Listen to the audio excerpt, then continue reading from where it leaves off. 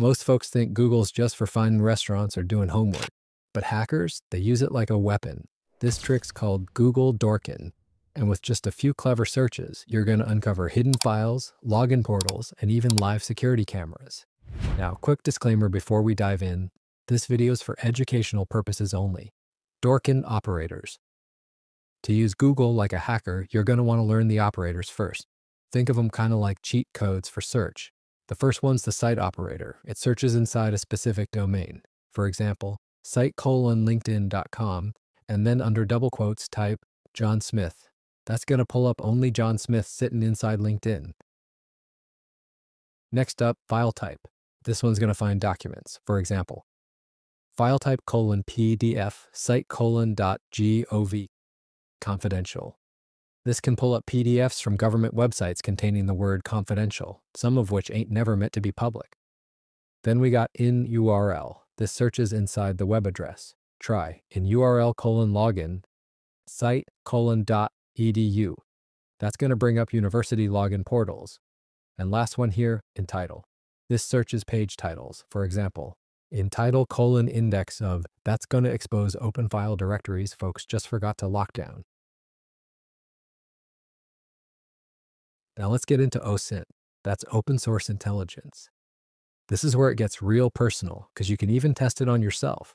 Say you want to find somebody's profile on a specific site, you can try something like site colon facebook.com John Doe. Here, Google's only going to show profiles of people named John Doe on Facebook. You don't just got to use names though. You can drop in an email address instead, and Google's going to pull up results linked to that email. Now, if you want to capture someone's overall identity, Sometimes they've uploaded a resume or CV out there on the internet. You can search like this in title resume or in title CV, file type PDF John Smith.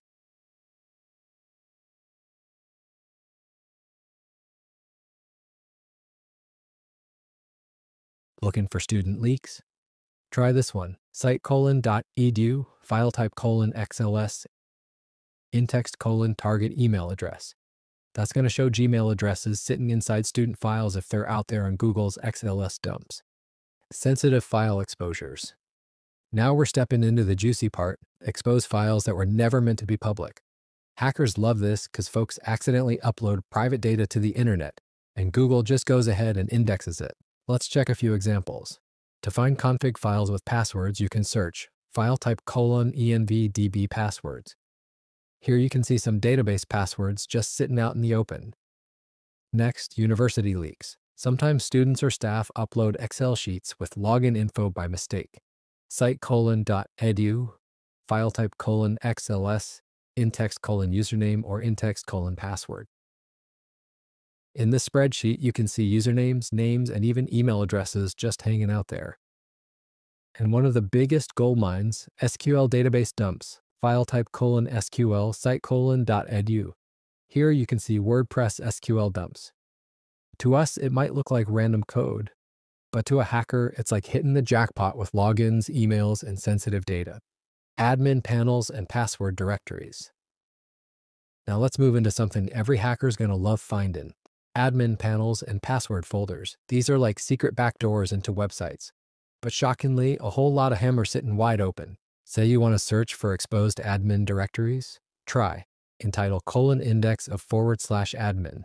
That's going to show you lists of admin folders. If a hacker stumbles on this, it's basically like finding the keys to the front door. And hey, it ain't just admin, you can swap it out and try forward slash password too. Exposed media and IoT devices.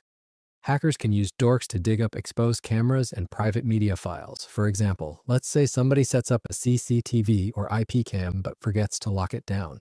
Hackers want to look for stuff like in URL colon forward slash view dot SHTML.